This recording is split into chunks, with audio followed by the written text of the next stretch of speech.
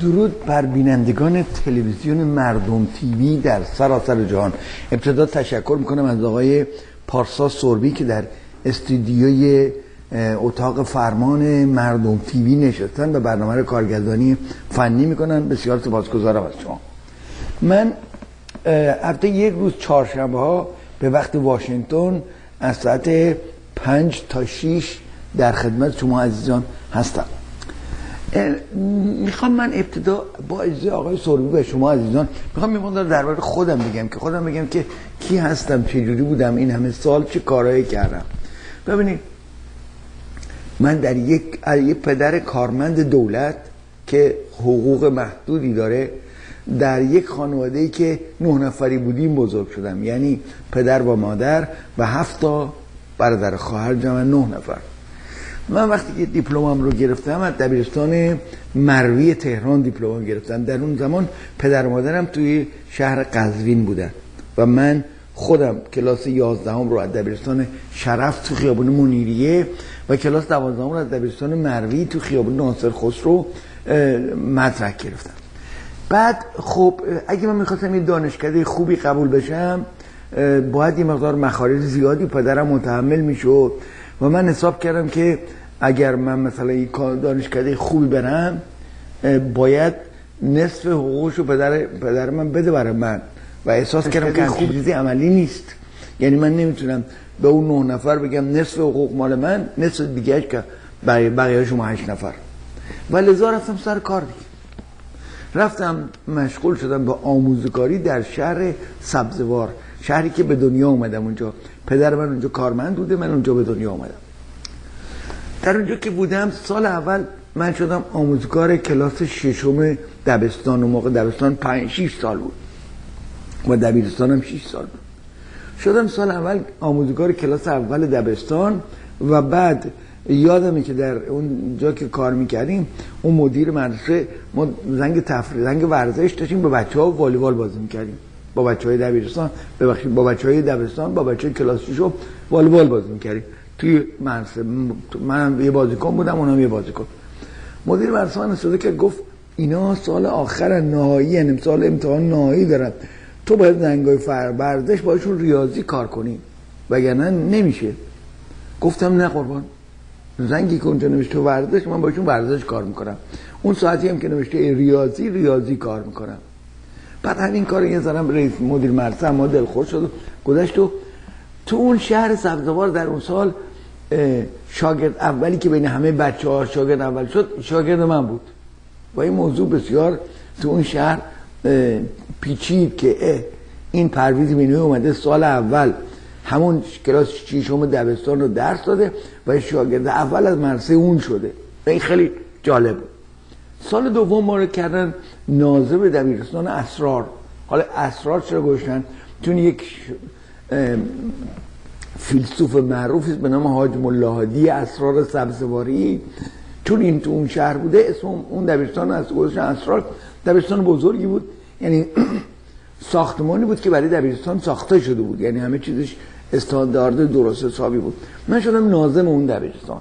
حالا من چند سالم بود؟ 19 سالم بود. شاگردای کلاس 12 و بعضیاشون 22 سالشون بود. اما من بزرگتر بودم. ولی به هر حال اون سال گذشت و سال دوم شدیم دبیر. رفتیم گفتیم نه ناظمی به درد ما نمی‌خوره. دبیر ما میشیم. در همین زمین دانشسرای عالی. گفت من یک کلاس کنکور یک کنکور می‌ذارم. کسایی که قبول بشن میارمشون در منتقلشون می‌کنیم در تهران. روزا برن درس بدن. شبا بیان دانشسرای عالی درس بخونن. من اصلا در اون کنکور شرکت کردم. در اون کنکور شرکت کردم 625 نفر در رشته ای که من بودم شرکت کرده بودن رشته طبیعی. این 625 نفر همه از آدمایی بودن که دیپلمه بودن ولی تو دبیرستان درس می‌دادن. می‌دونید این کنکور فقط برای اینا بود. برای دیپلمایی که تو دبیرستان ها درس می‌دادن این کلاس کنکور رو گذاشته بودن. و 625 نفر شرکت کردن من نفر 13 هم شدم در اونجا. و قبول شدم و اومدم تهران روزا می‌رفتم درس می‌دادم شبا می‌رفتم درس میخوندم. حالا بعد نیست خاطرم براتون بگم از درس دادنم. ما که اومدیم کلاس یک دبیرستانی بود به نام دبستان بابا تاهر توی تهران یه محله بود به نام 400 دستگاه اونه که یادتون باشه. اونجا دبیرستانی بود چهارراه خیابون جابری و 400 دستگاه. چهارراه یاس بود مثل اینکه. اونجا دبیرستانی بود به نام دبیرستان بابا تاهر این دبیرستان بابا تاهر کلاس هفتم و هشتم و نهم داشت یعنی بیشتر نداشت. ولی خب مثلا هفتم پنج شیش تا هفتم داشت سه چهار تا پنج تا هشتم داشت چند تا نهم داشت اینطوری بود. ما رو فرستادن یک کلاسی کلاس نهم. بعد فهمیدیم که این کلاس نهم همه میگن نهم جنایی. برای که 90 تا 93 تا شاگرد داشت باید همه شاگردای یک کلدار رو کجا جمع شده اونجا. ما رفتیم گفتیم خب دست کنیم تا اومدیم روی تابلو یه چیزی بنویسیم. دیدم یه چیزی میگه که دینگ دینگ دینگ. برگشتم نگاه کردم همه ساکت معصلوب معدب اینطوری شد دوباره رفتم روی تابلو یه چیزی دوباره دیدم یه چیزی میگه دینگ دینگ دینگ. پیش خودم گفتم که خب این دینگ دینگ دینگ تکرار بشه یه دفعه بچه ها همه می‌زنن زیر خنده من باید در کلاس برم بیرون. همونطور که پای تابلو می نوشتم حالا همه بچه هم ساکت صدا از کس در همه می‌خوام ببینن چه اتفاقی میفته اینجا. همونطور که داشتم پای تابلو می نوشتم گفتم مثل اینکه یک بزی هست کلش ای تکون میده زنگولش صدا میده. لطفا اون بوزه دیگه کلش رو تکون نده. اینی که رو به تابلو گفتم. بعد که گفتم برگشتم دم ای همه بچه های لبخند به لبشونه. مبصر کلاس رنگش پریده و یه شکل دیگه شده. فهمیدم کار آقای مبصر کلاسه. صداش کردم بودم مرد خوب تو باید به من کمک کنی کلاس اداره کنم. تو این چرا حرکتی می‌کنی؟ خلاص معذرت خواهی فلان. دیگه همون شد دیگه. دیگه ما اونجا کسی دیگه جارت نکرد به ما چیزی بگه. اون مرسه داره حالا به حال اومدم. شبا درس میخوندیم روزام درس می‌دادیم تا تموم شد. لیسانسمونی گرفتیم. لیسانس گرفتیم رفتم شهری به نام تفرش. شهر تفرش یک شهری است بین قوم و قوم و عراق و قرار گرفته. در مسیر راه های بزرگ راه تهران مثلا تهران به جنوب یا مثلا تهران به مثلا کرمانشاه یا مثلا تهران به قزوین در سر راه اصلی نیست. باید افرعی بری. از دو راه به میام می‌شد بیای دیگه. اونجا رفتیم باید چون که ما دانشسر عالی قبول شده بودیم از دانشسر عالی فارغ التحصیل شده بودیم به ما گفتن باید برید پنج سال خارج از تهران کار کنیم ما رفتیم پنج سال پنج سالمون شد 6 سال. 6 سال اونجا بودیم دبیر بودم رئیس دبیرستان شدم رئیس امتحانات شدم شهردار از طرف مردم انتخاب شدم معاون آموزش پرورش بودم آخرین شغلم و بعد تقاضا دادم. گفتم نه من می‌خوام بیام تهران گفتم بیای تهران دبیر میشی؟ گفتم باشه میام دبیر میشم. اومدم تهران ما رو فرستادن یه دبیرستانی به نام دبیرستان پیرایش. دبیرستان پیرایش یه دبیرستان دخترونه بود که محلش جغرافیاییش بود بین میدان راهن و کشتارگاه. حالا الان من نمی‌دونم میدان راهن همون جایی که بوده کشتارگاه همون جایی که بوده هست. حتما می‌دونم کشتارگاه رفته بیرون چون اون منطقه کشتارگاه بود. وسط شهر شده الان دیگه. بهش گفتن جوادیه. یعنی جوادیه بین نازیاباد و بین میدان راهن بود. اونجا دبیرستان بود. رفتم اونجا. من که می‌خواستم بیام تهران من لیسانسیه طبیعی بودم. یعنی اون چرا دبیرستان دانشگاهی که خوندیم لیسانسیه طبیعی شد. وقتی اومدم می‌خواستم بیام تهران پرسیدم از دوست آشنا گفتم کدوم کدوم دبیرا بیشتر پول در میارن؟ گفتن دبیرای فیزیک بیشتر پول در میارن.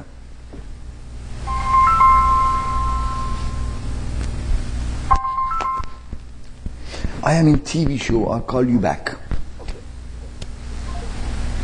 گفتن دبیرای فیزیک بیشتر در میارن. ما اومدیم دبیرستان پیرایش یه خانم شجاعی بود رئیس دبیرستان بود یه خانم ناجی راجی بود نازم بود مدرسه مدرسه بزرگ مثلا فرض کنیم که کلاس ششم طبیعی مثلا چهار پنج تا کلاس ششم طبیعی داشت. همینطور کلاس های پنجم چهارم همه داشت. شش کلاسه بود از کلاس هفتم تا کلاس دوازدهم داشت. خانم راجی گفتش که من برات برنامه می‌ذارم برو کلاس فلان طبیعی درس بده. گفتم نه خانم من دبیر فیزیکم. گفت آقای مینو اینجا نوشته شما لیسانسیه طبیعی. گفتم خانم راجی من دبیر فیزیکم فیزیک درس میدم. اگه می‌خوای میمونم اینجا اگه نمی‌خوای ابلاغم بده میرم یه دبیرستان دیگه. خانم راجی گفت نه بمون. به هر حال یه مقدار به ما فیزیک داده که یک یک یک کوچولو هم گفت طبیعی هم نمیم کدوم کلاس هم لنگ اونجا هم درس بده. ما شدیم دبیر فیزیک. دبیر فیزیک در اون دبیرستان یک دوره قرار شد که به اصطلاح تحقیق کنم ببینم کدوم معلم فیزیک بهتر درس داده. بعد بهترین دبیر فیزیک اون منطقه من شدم. یعنی از طرف آموزش پرورش یه نامه اومد شما حالا مدش شما آقای پرویزی مینوی دبیر فیزیک دبیرستان پیرایش. لحاظی که ما نمرات قبولی بچه ها رو دیدیم شما عوضتون از همه بهتر بوده لذا تشویق میشید از این حرفا. حالا چرا از اول من شد؟ برای که من حواسم به این بود که بچه ها یه چیزایی رو نمی‌دونن. ما پایه رو بزنیم چیزایی که نمی‌دونن کار پیش نمیره. من مثلا می‌خواستم یه درس بدم می‌رفتم گوشه تابلو یه دونه مثلث قام زاویه میکشیدم یه زاویه شد می‌شدم آلفا. مینوشتم مثلا تانژانت آلفا مساوی است با این زل بر این زل زل مقابل بر مجاور. یا سینوس مساوی است با زل مقابل بر وتر و اون زلی که مقابل زاویه قائم است بچه ها که می همینطور که من اینا رو می نوشتم ای آقا اینا رو که ما که خوندیم که همه رو خوندیم که. گفتم همه رو شما می‌دونم همه رو بلدی من اینا رو می که خودم یادم بیاد. فراموش نکنم اشتباه نکنم. من می‌دونستم که اگه برسی به یک مثلا میگی تانجانت این زاویه بچه گیج تانجانت میشن. تانجانت چیه؟ خوندن ولی یادشون رفته. و دبیرستان پیرایش دبیرستان دخترونه اون منطقه دبیر خوب نداشته که. ما یه کلاس نهم امتحان می‌کردن. اون دبیر هندسه کلاس نهم به بچه ها فقط سه تا قضیه رو یاد داده بود. یعنی مثلا قضایای هندسه که تو کتاب هندسه مثلا فرض کنیم که نمی‌دونم 50 تا قضیه هست سه تاش یاد داده بود. گفت یکی از این سه تا رو امتحان می‌کنیم یا هر تا اینا رو امتحان می‌کنیم. بچه اون سه تا رو یاد نگرفته بودن. همه تقلب گذاشتن زیر دستشون. اون سه تا قضیه رو. اینجور بچه ها بود من می‌دونستم اینا رو دیگه. اینی که می‌دونستم اینا تانجانت نمی‌دونم الان مثلا من خودم الان یه کتابی رو دارم می‌خونم که سیدیش هم از تو ماشین گوش میدم. این کتاب هست مقدمه ای بر اندیشه های ایران شهری. آقای شاهین نژاد نوشته. اولش هم گفته که البته خودش که نگفته یه سیدی هم آخه داره باش. سیدی که میاد؟ اون سیدی رو یه خانم آقای گفتن و اون از قول نویسنده میگن که ما سعی کردیم که با لغتات م... لغت معمولی بگیم واژه های معمولی بگیم که برای همگان چیز باشه مثلا آسونه. بعد یه مثلا میگه دو جاگاهی. خب وقتی میگه دو جاگاهی من معنی دو جاگاهی رو نمی‌دونم. وقتی معنی دو جاگاهی رو نمی‌دونم پس این که این داره میگه میاد مثلا میگه میگه دو جاگاهی من حواسم این دو جاگاهی چیه؟ پس سه خط دست میدم. تا بفهمم که این چیه یا بعدم نفهمیدم میگم نفهمیدم بلش کن. بده بقیه مطلب گوش بدیم. حالا این کتاب باشه آدم بخونه می‌تونه صبر کنه رو اون لغت. بگه دو جاگاهی بگه دو جاگاهی. که خط ببینم اینه جوابشو داره معنیشو داره زیرش معنیش نوشته جایی نوشته. ولی وقتی شما یه سیدی رو داری گوش میدی می‌رسه به دو جاگاهی دیگه گیر می‌کنه اونجا. بچه هم تو کلاس اینطوری هن. بعد اون ما اینجوری شد که به صلاح دبیر نمونه فیزیک اون منطقه شدیم. در حال که اون دبیرستانی که من درس می‌دادم غیر از من که اصلا دبیر فیزیک نبودم دبیر طبیعی بودم. غیر از من که دبیر فیزیک در واقع خود نامیده شده بودم پنج تا دبیر فیزیک, فیزیک دیگه بود. و بچه هاش کدوم قبول نشدن گفتم پرویز مینوی باید بیاد سر کلاس ما. خانم راجی می‌رفت میامد نیست تا کلاس طبیعی بود. همه می‌خواستم من باشم. خب نمی‌شد دیگه نمی‌شد. یه جوری بود که بعد اونها دیگه می‌شد. خانم راجی میامد بهشون میگفتش که ها من به بخش گزارش میدم که شما چون که از این معلم فیزیک که مثلا پرویز مینویه مثلا خوشتون میاد می‌خواید این باشه وگرنه دبیر فیزیک فیزیک. یه جوری میگم که بچه ها دیگه خجالت می‌گیرن جرأت نمی‌کنن مثلا بهشون گفت که شما قصد مثلا عشق عاشقی دارید با این دبیری همچه حالتی. به هر حال ما اومدیم رفتیم دبیرستان خارزمی رفتیم دبیرستان آذری مقدار درس دادیم. دبیرستان حالا این بعدم نیست اینم براتون میگم.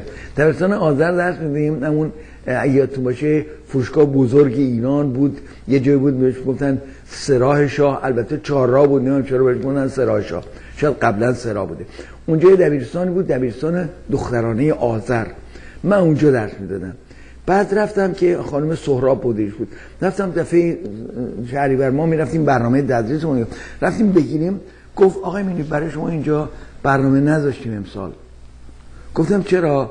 گفت برو دفتر مرکزی آقای خسروانی مدیر عامل اون بهت میگه. چرا؟ رفتم با آقای خسروانی گفتم آقای خسروانی برای من برنامه نذاشتید چرا؟ گفت آقای مینی راستش که برای که بچه ها شما رو زیاد دوست دارن ما نمی‌خوایم مدرسه دخترانه اینطوری باشه که علاقه داشته باشن به یه دبیره گفتیم باش. بعد اومدیم دبیرستان خارزمی دبیرستان خارزمی مشغول شدیم. بعد بعد یک می‌دونی بود میدون 25 شهریور که سینما دیاموند یادم اون گوشش بود و اینجاش هم خیابون روزولت بود این طرفش هم امجدیه بود. در اونجا یه دبیرستانی رو خارزمی خرید به نام دبیرستان فرگام. پول داد این خرید بین پنج تا دبیر به نصفش البته نصفش خودش برداشت نصفش بین پنج تا دبیر به طور قسطی فروخت. که این پنج تا دبیر نگر داره؟ منم جز اونا بودم. بعد ما رو گذاشتن کلاس شبانه خارزمی درس بدیم. کلاس شبانه خارزمی درس بدیم یه دفعه دیدیم که بر ما گذاشتن مکانیک شیشم ریاضی رو درس بدم. حالا البته می‌دونم برای بینندگان دشواره که بفهمن مکانیک شیشم ریاضی یعنی چی. ببینید مکانیک کلاس ششم طبیعی 80 صفحه بود یک کتاب بود فیزیک و مکانیک که 80 صفحهش مکانیک بود. مکانیک کلاس ششم ریاضی یک کتاب سوا, سوا بود حدود 250 صفحه یعنی سه برابر اون. و بسیار پیچیده و من یک چیزا رو باید درس می‌دادم که به عمرم خودم نخوندم. می‌دونی چی میگم؟ خودم نخوندم. ببینید اگه شما بخواید تاریخ رو بخواید درس بدید می‌تونید برید درس بدید. فوقش لغت اشتباه میگید مثلا اینکه دوستان من مثلا در یک مقاله ای که ضبط کرده به صورت سیدی کرده مثلا فرض کنیم که میگه آقوینلو آقوینلو آقوینلو رو میگه آقوینلو آقوینلو قیون یعنی گوسفند. آقوین یعنی گوسفند سفید. قرا قیون یعنی گوسفند سیاه. اینا دو طایفه تارکمن بودن. آقویونلو و قرقویونلو همیشه با هم جنگ بودن. یکیش همیشه گوسفندای سفید پرورش می‌دادن. یکی همیشه گوسفندای سیاه. حالا ولی شما وقتی که می‌خواید مکانیک شیشم ریاضی درس بدید هرچی بخونید نمی‌فهمید یکی باید براتون بگه. باورتون نمیشه که من اون وقتا که اونجا درس دادم سختترین ساعتهای عمرم بود. میامدم شبا ساعت 9 شب میامدم خونه تازه میشستم اینا رو بخونم. رفتم سه چهار تا کتاب تعلیف های مثلا سالهای مختلف قدیمی جدیدی خریدم. پنج شیش تا حل مسائل قدیمی جدیدی گرفتم. از این میخوندم از اون میخوندم از اون میخوندم. آخر سر یه کاغذ می نوشتم اینا رو می نوشتم کف دستم میذاشتم. باور می‌کنم من تقلب می‌کردم. می‌رفتم این فرمولا رو که با تابلو بنویسم از اون کاغذی که نوشته بودم می‌خوام می نوشتم برای که قا... من نمی‌تونستم بفهمم اینا چیه. بعد اسفند ما شد تقریبا نیمه اسفند شد. گفتن مدیر دروس خارزمی تو رو می‌خواد حالا اون موقع خارزمی مثلا فرض بفهمه که مثلا دوازده تا واحد مختلف داشت از روزانه و شبانه. یک مدیر دروس کل بود یه مدیر کل خارزمی بود. گفتن تو رو می‌خواد. رفتیم اونجا با ترس و لرز گفتم لابد می‌خواد به من بگیر تو دیگه نمی‌خواد بیایی درس بدی. رفتم گفتش که تا کجا درس دادی؟ چیز مکانیکی شیشم ریاضی رو. گفتم تا فلانجا درس دادم. گفت مسئله تا کجا درس دادی؟ گفتم تا فلانجا حل کردم. گفتش که خب از حالا دیگه نمی‌خواد بری کلاس. اونجا دو کلاس بعد از زید خلوت میشه. این دو کلاس یک کلاس می‌کنیم. یک کس دیگه درس میده. شما بیا برو کلاس کنکور. پول اونجا رو بهت میدیم تا آخر سال.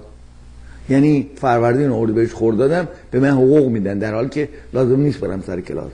برو کلاس کلاس کنکور.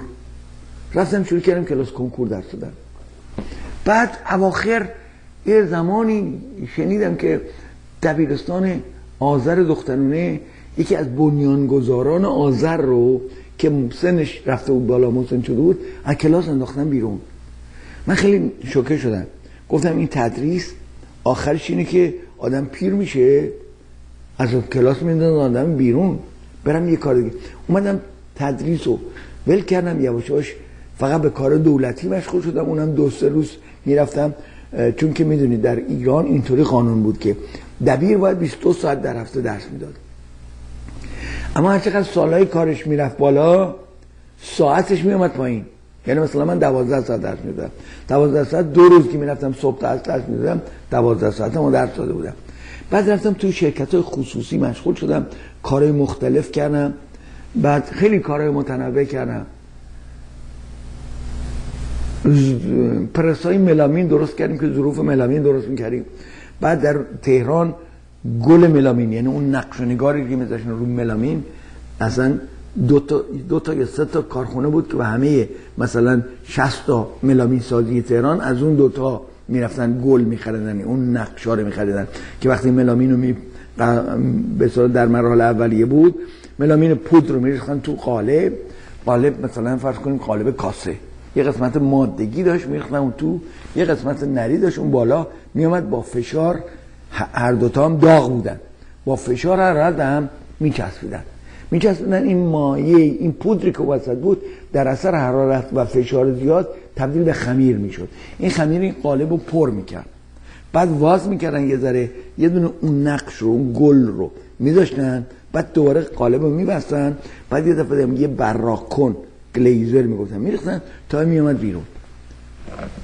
ما اون گلا رو من یه شریکی داشتم بهش گفتم که عزیزم بیا این گل ما درست کنیم. گفتش که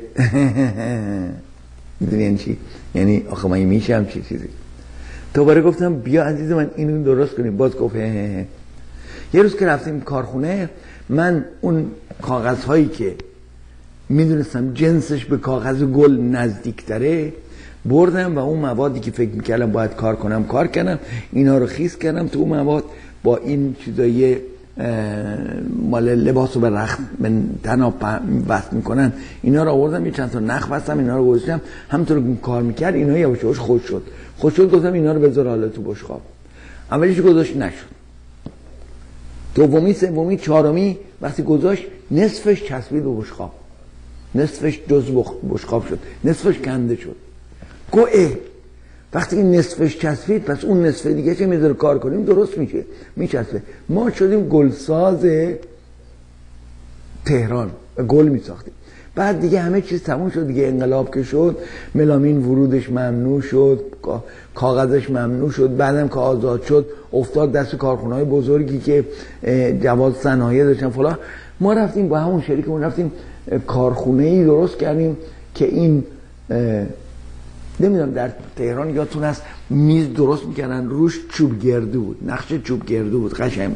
ولی جنس میز چوب گردو نبود. جنسش یک چوبایی بود به نام نئوپان. از خورد چوب با پرس درست کردن.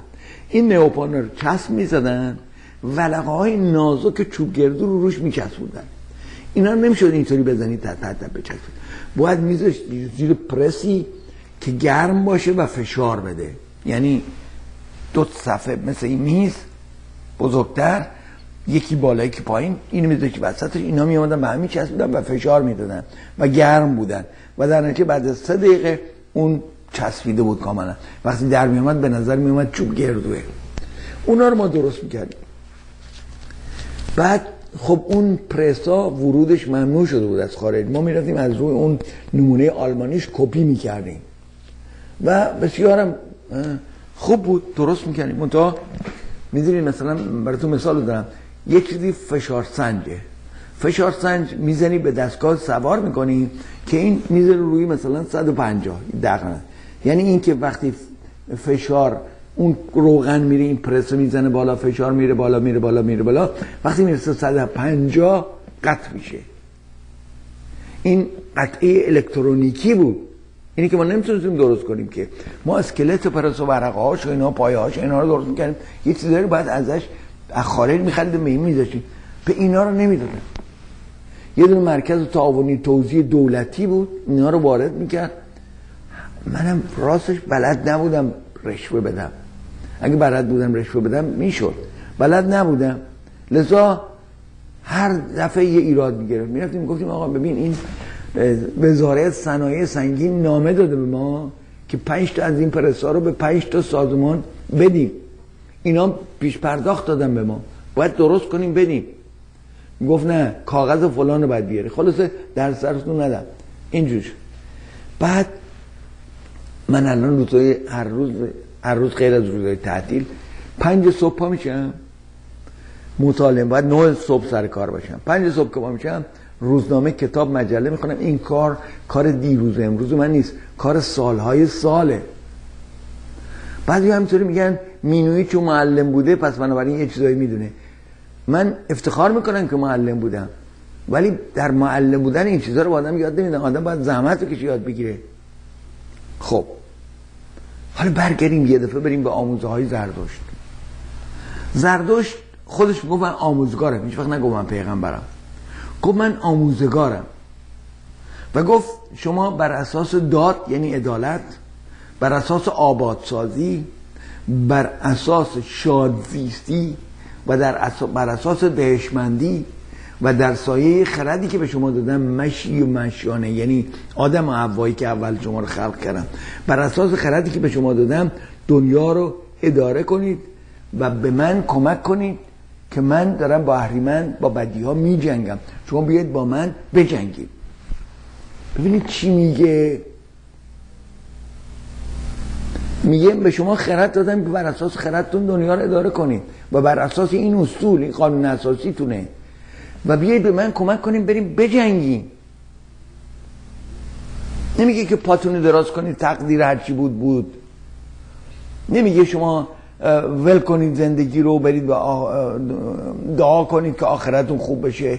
هی صبح تا شب تصمیم بگیرید یا الله یا الله یا الله یا الله. می‌خواید برید توالت اول این دعا رو بخونید بعد اون دعا رو بخونید بعد اون دعا رو بخونید. نه این میگه که این کارا رو بکنید. حالا ما مردمان دنیا یا پیرو این دستورات هستیم و لذا شادزیستی هستیم.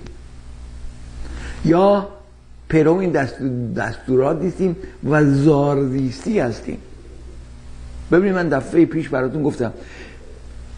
من که به دنیا اومدم همینطور شما همینطور همه در همون لحظه اولی که از رحم مادر به دنیا اومدیم ملیتون معلوم شد. ایرانی هستیم.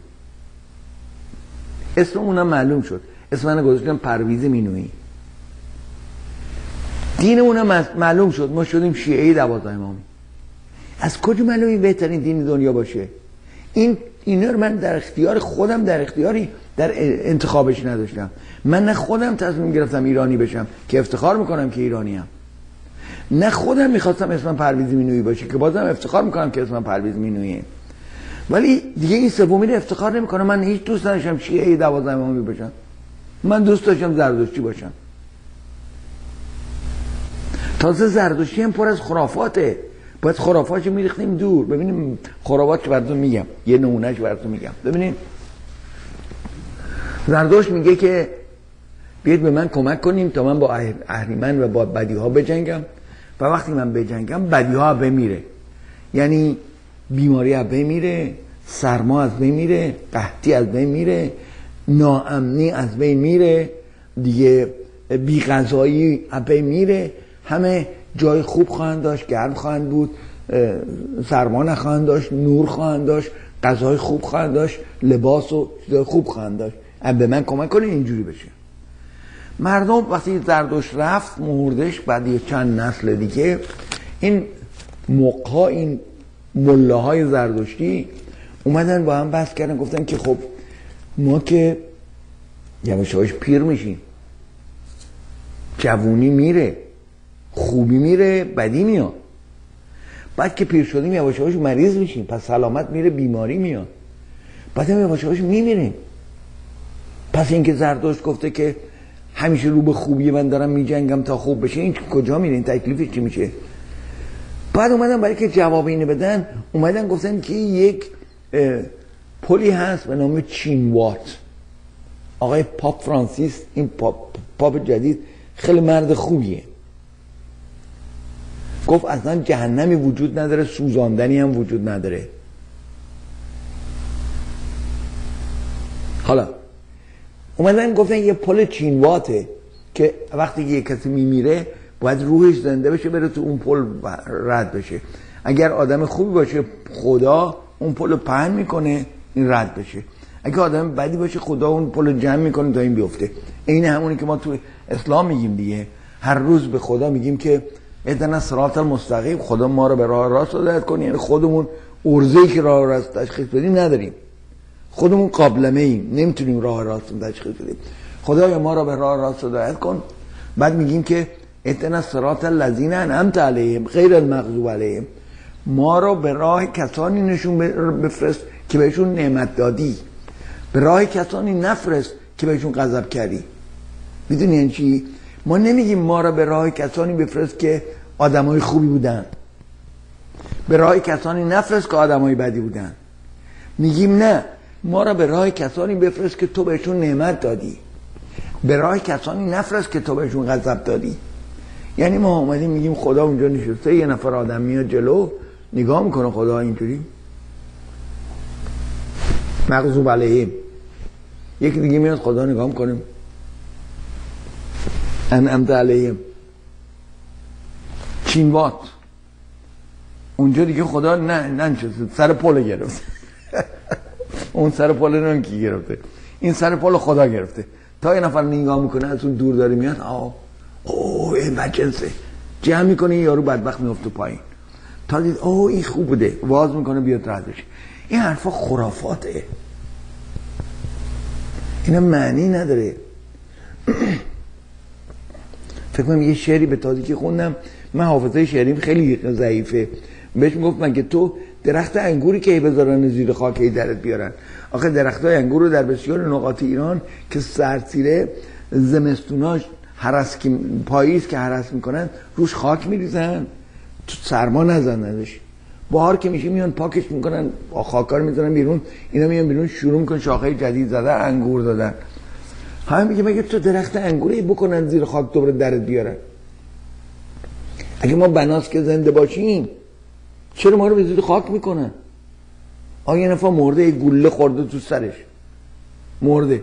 حالا می‌کنن زیر خاک. حالا پس فردا زنده میشه. تکلیف گلوله چی میشه؟ یارو پیر شده سرطان گرفته مرده. حالا بیدار میشه. حالا بیدار شد. این تمام بدنش پودر شده خاک شده. این خاک اصلا جذب ریشه درختان شده رفته اونجا. اصلا بعضی گروه ها زردشتی ها مرده می‌زنن توی دخمه می‌زنن که حیوانات بخورن. یارو اومده مثلا گرگا یا نمی‌دونم گرگا که نمیان معمولا مرده رو بخورن. کفتارها و لاشخورا اومدن تیکه های گوشت این همه کندن خوردن.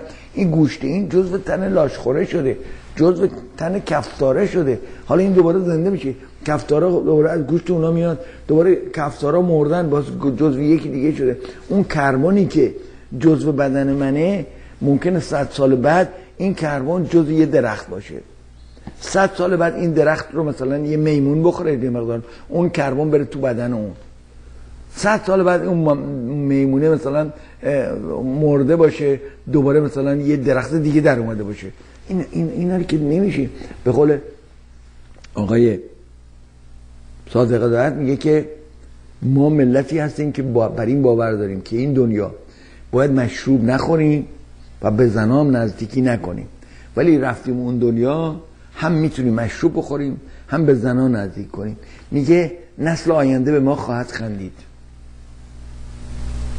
اگه شراب خوردن بده چرا اون دنیا خوبه؟ اینجا بده. اگر به یه زنی نزدیک شدن خوبه چرا اینجا بده؟ چرا اونجا هفتاد توری به ما هفتاد توری من چیکار کنم آخه؟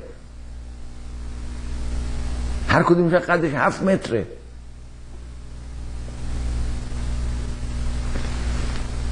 خب.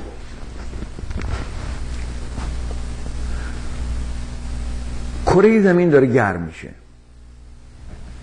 آثار این گرم شدن اول اینکه درجه حرارت ها گرم میشه. بعد آثار بسیار زیانباری برای انسان ها داره. برای که بخشی از رودخانه ها من اینها رو بنویسم. می‌دونی من توی شش تا رسانه کار می‌کنم.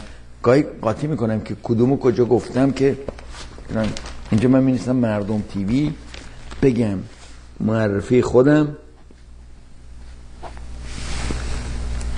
آموزه های زردشت پل چین وات؟ و گرم شدن زمین. کره زمین در حال گرم شدن این خطرات بسیار زیادی برای ما انسان ها داره. برای طبیعت بر همه داره.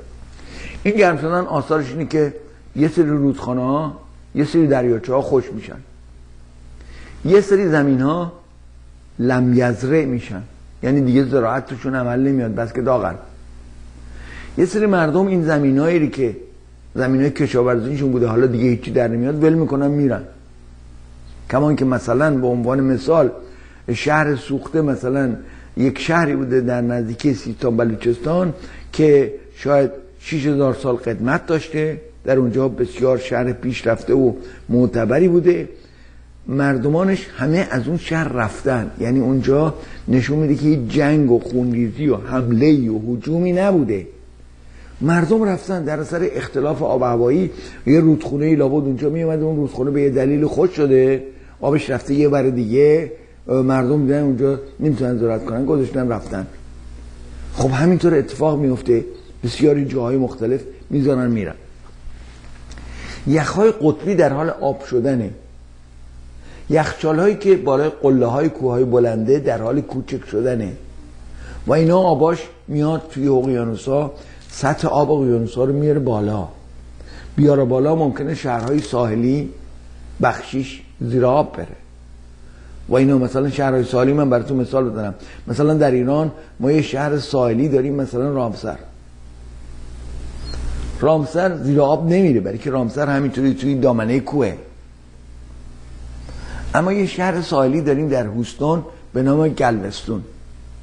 اینجا گلوستون با بلندتر زیاد بلندتر از دریا نیست. ما اینجا توی هوستون یه هوستون یه جایی داریم به نام چیپ کانال هوستون با گلوستون سی مایل فاصله داره. یه جایی میگیم چیپ کانال چیپ کانال همون شیپ کاناله یعنی کانال کشتیرانی. کانال کشتیرانی یعنی چی؟ یعنی این کانال وصل به اقیانوسه. یعنی کشتی هایی که بزرگ میان تو اقیانوس مثلا می‌خوان فرض کنیم که اتومبیل لگزس از ژاپن آوردن می‌خوان خالی کنن اینجا توی هوستون. میان تا اونجا توی گمرک اونجا لب گمرک میرید اونجا رو می‌بینید شما. شما مثلا یه جاده رو میرید می‌بینید اه یه پل بلندی داره اون بزرگ نگاه می‌کنید اه کشتی وایساده داره جنسش خالی می‌کنه. پس بنابراین اینقدر ما به آب وصلیم. اگه آب بیاد این این حالت میشه دیگه. و اصولا در همین 15 دو هفته پیش در هوستون اینقدر بارون اومد که بخشی از شهر رفت زیر آب. یعنی یکی از بستگان ما سو اومد دید ماشینش تا دستگیری درش تو آبه. بعد حالا یه کسانی رسیدن بهش گفتن که بیا هول بدیم ماشین بره روی اون رانوی بره جلو گاراژ که بلندتره دراشو وا کن. رفت یک جارو برقی مخصوص آب خرید اوور تمام اینو تمیز کرد آباشو گرفت و گذاشت تو مثلا 7 ساعت بعد روشن کرد. روشن شد ماشینش. اول یه سری چراغ اون تو روشن می‌شد بعد اون چراغ هم خاموش شد. شیش نفر مردن. برای این رفتن توی آب عمیقی. بعد به جایی که تا فهمیدن دارن میرن توی آب عمیق به جایی که شیشه رو بکشن پایین از شیشه بیان بیرون یا در با کنه در بیان بیرون فکر کردم آب دیگه آب ببندیم میشه آب نیاد تو خب آب نیاد تو رفتی تای آب. حالا تمام ماشین آب گرفته حالا چیکار کنی حالا در آخرین لحظه که آب اومد تو ماشین تو داری خفه میشی می‌خوای شیشه رو وا کنی در وا کنی. می‌بینی وا نمیشه.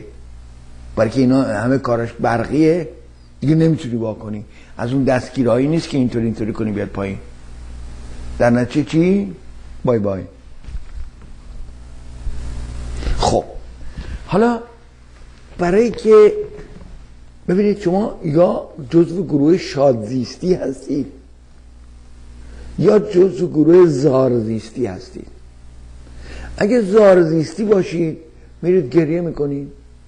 میرید مثلا امامزاده محلتون مثلا میرید مشهد میرید قوم میرید نمی‌دونم چای چراغ میرید شاب دولزین میرید مثلا شازده حسین قزوین میرید. همه اینقدر امامزاده ما داریم تو ایران که یکی می‌گفت فکر کن که این اماما بچه هاشون برای تحصیل میفرستندن ایران.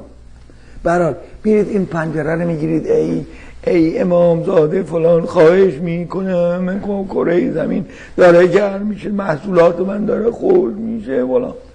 این میشه زارزیستی مثلا میرید پلوی امام رضا زاری می‌کنید. امام رضا خودش کی بود؟ امام رضا یک آدمی بود که معمون عباسی گولش زد. میگیم امام وارد آگاه فلان فلان معصوم چی؟ گولش زد. گولش زد حالا میگم چی گولش زد؟ معمون می‌خواست خلیفه بشه. در حالی که هارون رشید وصیت کرده بود که امین خلیفه بشه. اون یکی پسرش. معمون اومد دست به دامن ایرانی ها شد. و از جمله امام رضا. گو آقا امام رضا تو ولیعهد من. من اگه مردم جانشین من تو هستی. امام رضا گول خوب فکر کرد که اگه معمون بمیره خلافت از سلسله عباسی میاد به سلسله امام رضا. مثلا به سلسله هاشمی مثلا فرض کن. یا قریشی یا هاشمی یا مثلا رضاییان. قبول کرد که معاونت و معاون و معمون بشه. بعد یه سردار ایرانی تاهر زلیمینین زلیمینین بهش گفتن که با هر دو دستش با شمشیر یعنی با هر دو دست شمشیر می‌زد. این گفتن زلیمینین یعنی دست یمینش که کار می‌کنه یسارش هم مثل یمینه. دو تا دست راست داره. بعد این اومد و رفت و با امین جنگید و کله آقای امین برید و گذاشت تو سینی آورد در این معمون گفت ببرما آقای معمون شد خلیفه. شد خلیفه دیگه با, با امام رضا کاری نداشت که. گفت آقای امام رضا ببخشید دیگه شما ولیعت نیستید من ولیعتی شما رو تموم کردم. میگن آقای امام رضا رفت یا با انگور مسموم مرد یا با آب انگور مسموم مرد. خب. حالا ما میریم به این امام رضا میگیم ای امام رضا کره زمین نجات بده. بابا این خودش نتونست نجات بده. مثل اون پاپ جان پل دوم دو تا پاپ قبلی بود. مردم بچهش میبردن این که مثلا سلامتشون بده. این پارکینسون داشت دستش میلدی تپ تپ تپ می‌زد تو دست کله یارو. بابا این که خودش آی خامنی دست خودش در اثر انفجار بمب ناکار شده. نمی‌تونه درست کنه. حالا یه دفعه قابلش میگه که تا این به دنیا اومد نمیم گفت یا علی. هم بچه که به دنیا اومد گرفتنش بچه همه گریه می‌کنن این گفت یا علی یا علی, یا این حرفا چیه می‌زنید؟ آخه خرد زردشت میگه بهتون خرد دادم. بر اساس خردتون کار کنین. حالا اگر شما جز شادزیستی باشید شادزیستان باشید جز اونایی هستید که اهورامزدا میگه بیاید در سپاه من بریم با هریمن بجنگیم با بدی ها بجنگیم. شما اون موقع میگید خب گرم شدن زمین یک بدیه. بریم بجنگیم. حالا برای که بجنگید؟ فکر می‌کنید راه حل پیدا می‌کنید. البته یه سری دانشمندان این کارو می‌کنن. ما هم اگه شاد زیستی هستیم ما هم داریم فکر می‌کنیم راه حل پیدا کنیم. گرم شدن این زمین به خاطر چیه؟ به خاطر اولا اول اول به خاطر زیاد شدن جمعیته. بعد به خاطر گرمایی که انسان ها در زمستان ها خونه ها رو گرم می‌کنن شهرها رو گرم می‌کنن. گرمای اتومبیل ها گرمای کشتی ها هواپیما ها ترن ها گرمای کارخونه ها این همه گرم می‌کنه زمین ها به خصوص زغال سنگ به سوزونی گازهایی به وجود میاد به نام گازهای گلخانه ای گلخانه چجوریه؟ شما گلخانه هر وقت برید تو گلخانه هیچ بخاری توش روشن نکردید اما همیشه در روز گرمتر بیرونه. برای چی؟ برای که اشعه آفتاب که میاد تو گلخانه وقتی برمیگرده که بره دوباره بخشی از اشعه آفتاب برمیگرده دیگه. وقتی برمیگرده می‌خوره به اون شیشه دوباره بر برمیگرده. باز دوباره برمیگرده می‌خوره به شیشه یه قسمتش میره یه قسمت برمیگرده. یعنی اگر این پوشش شیشه ای رو نداشت اینجا اشعه که به اینجا می‌خورد یه قسمتش جذب می‌شد بقیهش برمیگشت می‌رفت. ولی چون پوشش شیشه ای رو داره هر دفعه که می‌خوره به این پوشش شیشه ای باز یه بخشیش برمیگرده. خب. ببینید من خلاصه کنم. اگر توی جنگی یک موشکی رو به سوی یک هواپیمای شلیک کنن این موشک گرمای موتور هواپیما رو می‌گیره دنبالش میره. قفل شده هر طرف هواپیما میره اونم میره. تا بخوره بهش. و چون سرعت موشک هم از سرعت هواپیما بیشتره پس بنابراین می‌رسه بهش. اما سرعت موشک همونطور که بیشتر از هواپیماست مانورش کمتره. چون مانورش کمتره می‌تونه خلبان به راست و چپ و اینو بره اگه زرنگ باشه کار کنه که این موشک بخوره به یه کوه یا بخوره به یه زمین و خلاص بشه در مورد کشتی اینطور نیست. موشکی که برای کشتی میفرستن اون موشک بزرگی فلزی کشتی رو می‌بینه. داره یه جسم بزرگی رو می‌بینه توی آب این همینطوری میاد مثلا از فرض کنید که هر چند مایلی فاصله شلیک شده میاد یکی میاد می‌بینه این جسم نزدیکتر دنبالش میره. حالا اون ناخدای کشتی اگر خیلی زرنگ باشه می‌تونه یک بمبایی رو بفرسته دور کشتی که در زمان معین زمانی که موشک داره نزدیک میشه و می‌خواد برسه به کشتی یه بمبایی رو یه موشکایی رو پرتاب می‌کنه مثلا سه تا موشک پرتاب می‌کنه. این سه تا موشک منفجر میشن هر کدومشون انبوهی از ابر فلزی ایجاد می‌کنن. یعنی موشکی که میاد کشتی رو می‌دیده حالا می‌بینه که اه کشتی هست سه تا ابر فلزی هم یکی اینور یکی بالا یکی اونور بزرگ این دیگه موشک دیگه نمی‌فهمه این ابر فلزیه که. فکر کنه این یه جسم فلزیه. و اتفاقا بزرگتر خود کشتی هم هست. میره به طرف یکی از اینا و می‌تونه شا... کشتیه ناخدای کشتی فرار کنه. حالا دانشمندان می‌تونن؟ همونطوری که ماهواره می‌ذارن توی فضا همونطور ابرهای بزرگی از ورقه های فلزی سیغلی بذارن در خارج از جو. چون اگه تو جو باشه در سر حرکت مقاومت هوا نمی‌ذاره حرکت کنه دیگه. سرعت می‌گیره و کم می‌کنه سقوط می‌کنه. پس بنابراین باید خارج از جو باشه. جو کره زمین تا 100 کیلومتره. البته 100 کیلومتر تا 10 کیلومتر. 15 کیلومترش هوا قلیز بعد یواش رقیق میشه. دیگه 100 کیلومتر به بالاتر هوای وجود نداره. حالا اگر یک ابر بسیار بزرگی درست کنن که در 110 کیلومتری زمینه و سرعتش طوری است که با کره زمین میچرخه همطوری زمین داره میچرخه اونم اینطوری میچرخه پس سایش میفته یه جای معینی از زمین. و در نتیجه بخشی از سطح خورشید که اون ابر فلزی سیقلی می‌خوره برمیگرده دور میشه. خب این البته یک راهی است. راه دیگه هم هست. دانشمندان دنبال راه های مختلف میگردن که میان جلوی گرم شدن زمین رو بگیرن. یک راهش اینه که اصلا گازهای گلخانه ای تولید نکنن. بیشترین گاز گلخانه ای رو امریکا و چین و هند درست می‌کنن. و اینا باید گازهای گلخانه ای رو توقف بدن. یکی از راه توقفش اینه که زغال سنگ نسوزانند. زغال سنگ وقتی سوخته میشه غیر از گاز کربونیک که در همه سوخت به وجود میاد یه سری گازهای دیگه هم به وجود میاد که این گازهای دیگه همون حالت گاز گلخانه ای رو به وجود میارن و نمی‌ذارن حرارت از جو زمین خارج بشه. پس بنابراین باید معادن سوخت رو ببندن معادن زغال سنگ رو ببندن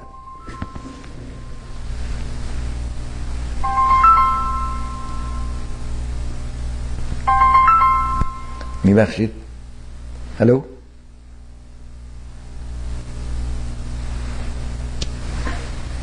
بله. خب در امریکا بزرگترین مشکلش اینه که یه سری سرمایه دارا هستن که معدن زغال سنگ دارن و زغال سنگ استخراج می‌کنن. دولت براش خیلی مشکل با اینا بجنگه و اینا رو وادار کنه که زغال سنگ دیگه استخراج نکنن. ولی خب دارن این کار می‌کنن. معادن زغال سنگ رو محدود می‌کنن تا همشون بسته بشه. چون وقتی بسته بشه بهترین کار استفاده از انرژی های پاکه. انرژی های پاک یکی از راههایی که هستش سولاره.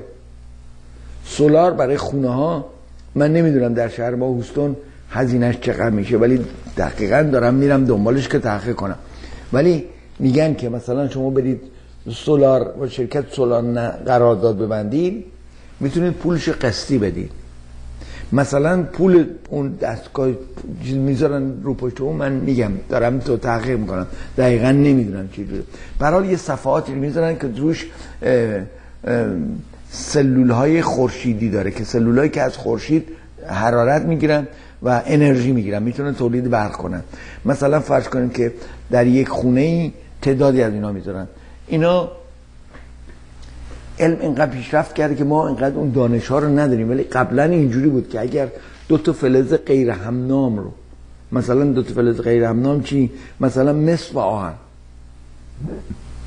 دو تا سیم مسی آهنی رو بگیر یه سرش به هم جوش بدید یه سرش رو اینجا به هم وصل کنید اون سری که جوش دادید بذارید یه جای گرم. این سری که جوش ندادید بذارید اینجا. یه جریان الکتریسیته توش ایجاد میشه. یعنی در اثر گرم شدن اون الکترون های مس با آهن هر دو شروع می‌کنن شدیدتر حرکت کردن و این دو فلز چون غیر هم جنسن حتما یکی فشار الکترونیش بیشتره. چون مساوی هم نمی‌تونن باشن. یکی چون اگه یه جنس بودن مساوی بودن. اما چون جنس فرق داره مساوی نیستن. پس یکی اون الکترونایی که به دور هسته میچرخه میاد منتقل میشه به اون یکی. خب اگه از این طرف یه سیم اینا رو به هم وصل کرده باشید اونها میاد اینطوری میچرخه. آمپرمتر ماشین می‌دونید آمپرمتر ماشین میگم آمپرمتر یعنی همون اقربه ای که اشتباه هم میگن آمپرمتر ترمومتر. ترمومتر یعنی درجه تعیین حرارته. که نشون میده که موتور کولد هات سی اچ این وسط باید وایسه. یعنی موتور سرد باشه باشه خوب کار نمی‌کنه. داغ هم باشه باشه خوب نه کار نمی‌کنه. باید یه جای معینی وایسه. اون که بفهمید که درست کارش یا گرم شده یا زیادی گرم شده یا هنوز سرده اون یه دونه همچین ترموکوپل داره ترموکوپل توی موتوره شما اخربش اونجا جلو روی شما شما می‌بینید این در واقع الکتریسیته تولید می‌کنه دیگه. درست؟ حالا از این ترموکوبل یکیه از این مثلا 5000 تا از این ترموکوبلا می‌ذارن یه جایی که آفتاب خونه شما می‌خوره بهش. یا پشت بوم یا هر جایی. خب در نتیجه شما برق دارید. شما که برق دارید بعضی وقتا برقتون از مصرفتون زیادتره. برقتون از مصرفتون زیادتره میره تو برق شهر. یعنی شما دارید برق رو میفروشه به شهر. بعضی موقعی که شما مصرفتون زیادتره ولی تولیدتون کم شده مثلا شبه. شب دیگه اون تولید نمی کنید از باتریتون می‌گیرید. باتریتون که گرفتی ای باتریتون بره پایین دوباره می‌تونید از برق شهر بگیرید. و یه چیزی که شما همیشه برق مناسب و خوبی رو دارید. در شهری مثل مثلا شهر هوستون که آفتاب زیاده و گرما زیاده من فکر می‌کنم که همیشه شما در حال دادن برق به شهرید هیچ وقت از برق شهر شما نمی‌گیرید. شبا هم باتریتون استفاده می‌کنید و روزا هم آفتاب از برق شهر استفاده می‌کنید. و به هر حال این سولار رو میگن من یه جا خوندم گفتم تحقیق نکردم نرفتم صحبت کنم و یه جا خوندم. که می‌زنم مثلا شما فرض کنید که برقتون در منزلتون میشه ماهی 150 دلار. شما میرید سولار می‌ذارید بهتون میگن قسطی ازتون پولی می‌گیرید ماهی 200 دلار. شما اول میگید اه من تا حالا داشتم 150 دلار می‌دادم حالا 200 دلار میدم. ولی در دراز مدت شما به صرفتونه چون برقی که امروز می‌دید 150 دلار ممکن تابستو بدید 250 دلار. ممکن سال بعد در همین زمان بدید 260 دلار. برای که خب سوخت که گرو میشه برقم گرو میشه دیگه. خب در نتیجه ممکن 5 سال دیگه پول برقتون میشه 250 دلار. ولی حالا شما همون 200 دلار قبلی رو می‌دادید پس در نتیجه کمتر می‌دید.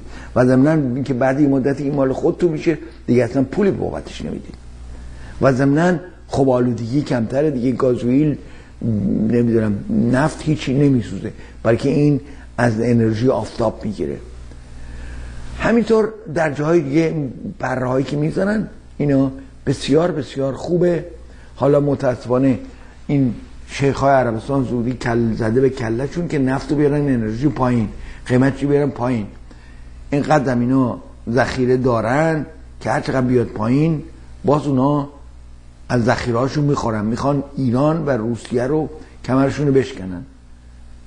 وگرنه بنزین عادلانه نیست نفت خام الان مثلا دور بر 40 دلار باشه. اقلا باید دور بر 60 دلار باشه 65 دلار باشه.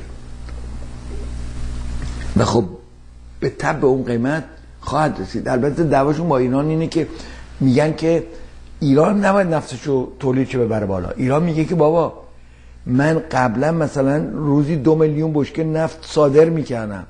اینا من تحریم کردن. صادراتم رسید به صفر. حالا که تحریم ها برداشت شد حالا می‌خوام برسم به اون مرز دو میلیونی که بودم. اینا میگن نه. تو الان اگه مثلا نیم میلیون بشکه تولید می‌کنی باید همینجا بمونی. خب ما کار نداریم. این آقای خامنه ای ایران رو به سوی یک مرگی می‌بره. ولی خب برحال اینجا درست میگه که دیگه باید برگرده به اون تولید قبلیش. خب. من یک کله حرف زدم میبخشید. از آقای سربی سپاسگزارم که در اتاق فرمان کارگردان فنی کردن. از شما خانم و آقایون که پای برنامه نشستید و به برنامه توجه کردید سپاسگزارم. من خواهش می‌کنم. ببینید اگه می‌خوایم کشورمون درست باشه هر کدومون بشیم یک زردشت آموزگار. آموزه های زردشت رو پراکنده کنیم پخش کنیم. این که برو امام رضا زار بزن زاری زیستی این به درد نمی‌خوره. این زاری زیستی رو بذاریم کنار. شاد و پیروز باشید شما رو به خردتون میسپارم.